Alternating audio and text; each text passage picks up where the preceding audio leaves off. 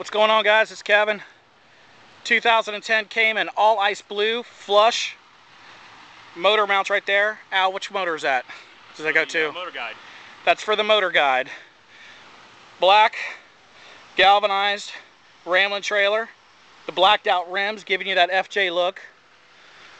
A sweet, huge mini Verado 50 EFI four stroke 14 pitch prop um, his options pretty slim. He kept it bare. He's got the built-in tank the flush troller the back lockable back door.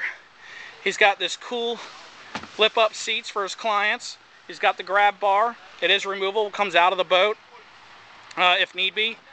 Uh, Al is a pro staffer. Al is based out of Naples but Al guides everywhere. He's going up to Louisiana for five days with some clients, going to do fly trips. This is uh, Al's personal boat. Al works with uh, East Cape.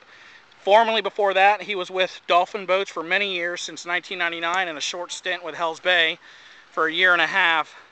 We're excited to have Al on the team.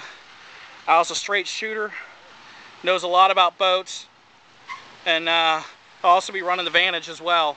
So you guys be on the lookout for him. Al, can't thank you enough as always, brother. Thank you, brother. Appreciate it, man. You build a great boat. Can't wait to get out there and tear them up. You guys take it easy.